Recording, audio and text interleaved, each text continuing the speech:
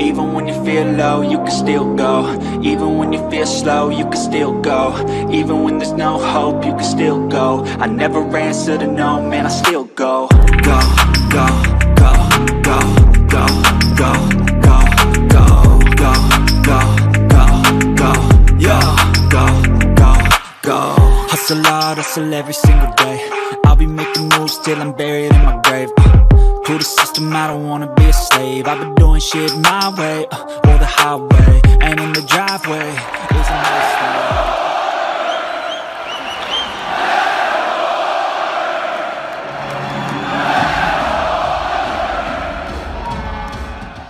Welcome back to the channel, guys. My name is Gene Edwards. This is my week eight preview for November the, what is it, 26th today, as the Edmonton Oilers are going to be taking on the New York Rangers in about 45 minutes. So I'm trying to get this done in one take.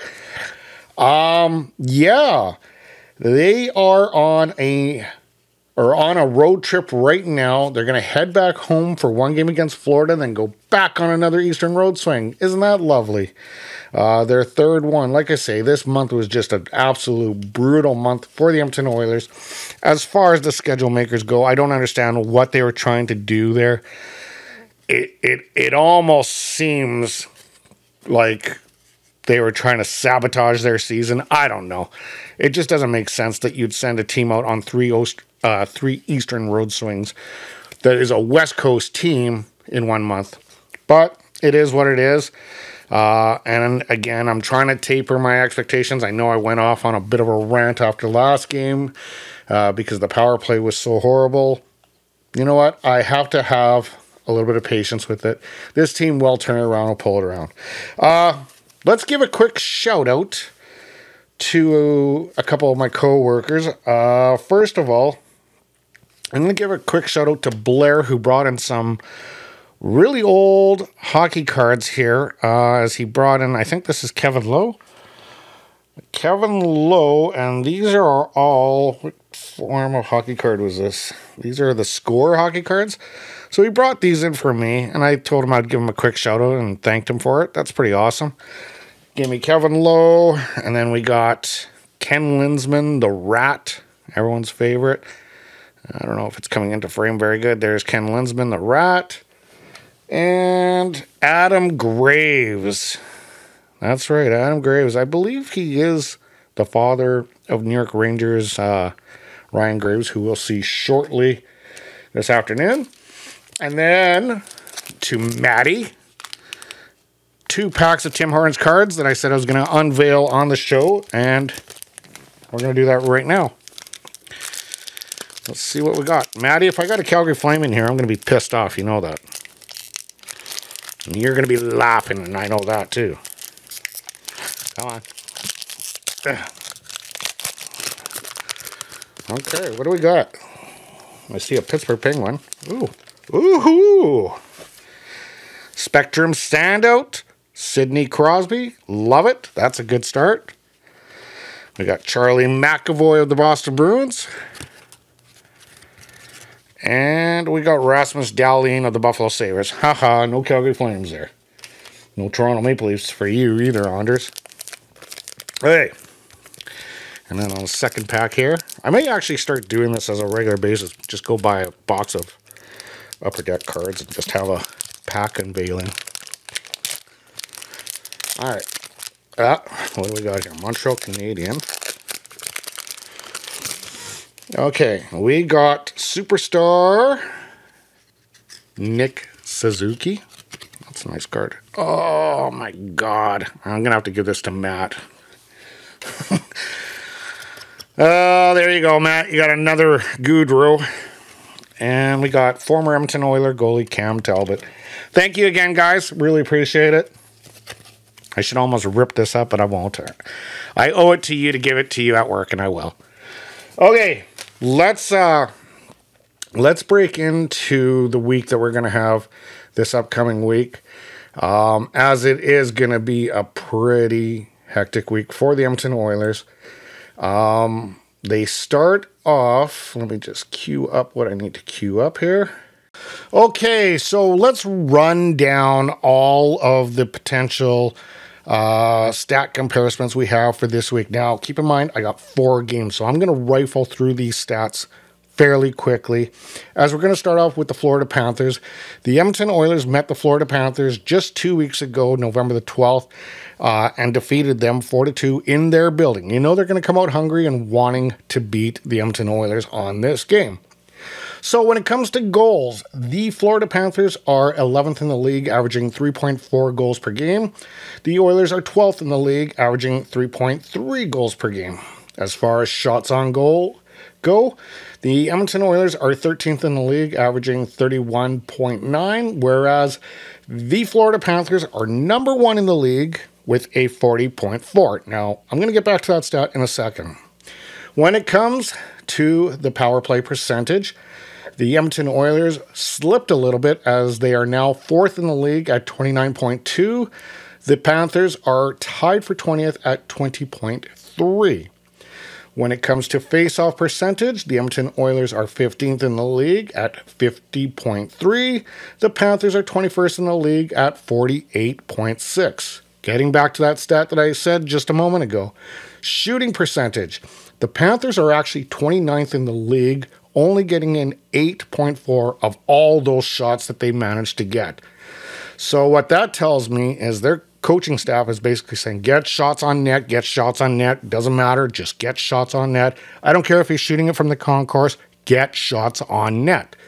The Edmonton Oilers, on the other hand, are 13th in the league uh, with a 10.3. When it comes to the defensive side of the game, the Panthers are 20th in the league for goals allowed at 3.25, whereas the Oilers are 29th in the league, allowing 3.6.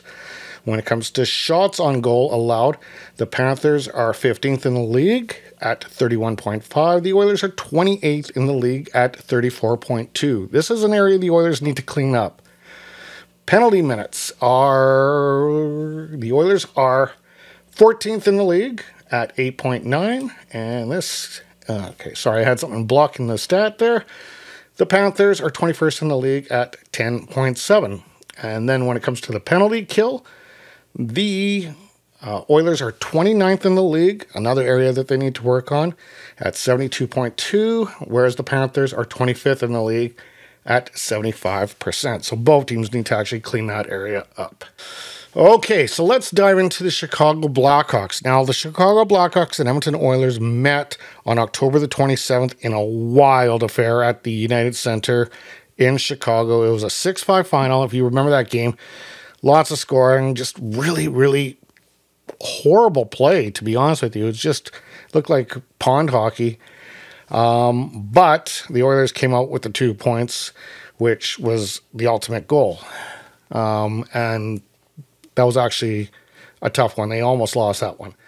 So it comes to their stats for goals. They are 30th in the league, averaging only 2.5 goals per game. They are 31st in the league for shots on goal, averaging 26.4. When it comes to the power play, it's 18th in the league at 21%. Faceoff percentage is number one in the league, 56%. So Jonathan Toews has got his faceoff prowess back as this team is doing really well in on the dot. That is the one stat that they really kick butt at. When it comes to the sh- shooting percentage, they are uh, 21st in the league at 9.5.